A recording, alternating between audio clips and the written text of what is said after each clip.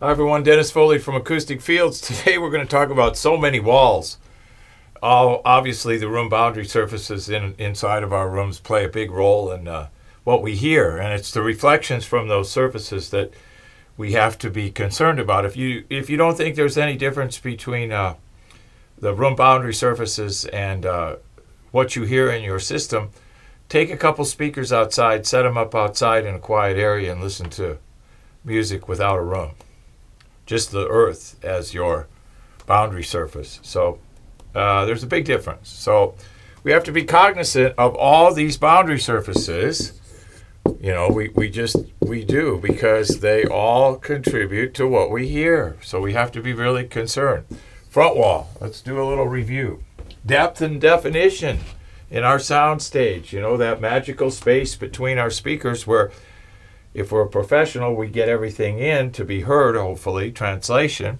And if we're just, uh, you know, playing back and listening to music, we want that emotional connection, which means we have to hear everything that's in the mix in order to connect to the music. The rear, we have that time delay bounce off the rear wall, which, oh, messes with everything because we have the direct energy from our speakers.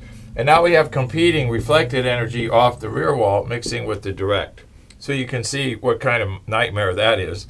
The sides, that's directly related to our soundstage width. So the, the space between our speakers and then acoustically, psychoacoustically, our speakers disappear and we get a wider soundstage. So the sides are very important and rate and level of absorption on the sidewalls are very critical. You just can't throw up any sound absorbing material on those sidewalls or the rear wall. You have to manage how much and at what frequency you're absorbing. Ceiling, first order reflection, and the floor, first order reflection. Why? You're sitting on the floor, right? There's the floor. You can't really get much closer to it. The ceiling isn't too far away up here.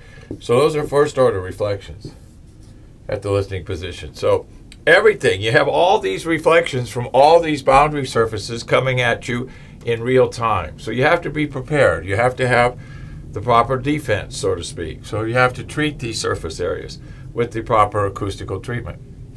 So we can manage the reflections and more importantly, the time signature of those reflections because it's always a balance between the direct energy out of the speakers and the reflected energy from the sidewalls and all the other room boundary surfaces.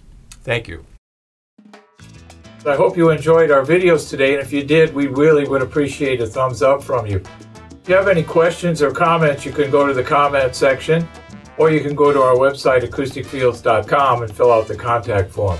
Subscribe to our channel, our YouTube channel. We're now doing two videos a week. If you have some ideas for topics, you can uh, submit those to us also you're having room issues, we have that free room analysis. You can click on the button below and we'll compare your room to our database of 120 built rooms that uh, we built and actually measured, and I guarantee you your room is in that database. So just click on the button below for the free room analysis. Thank you.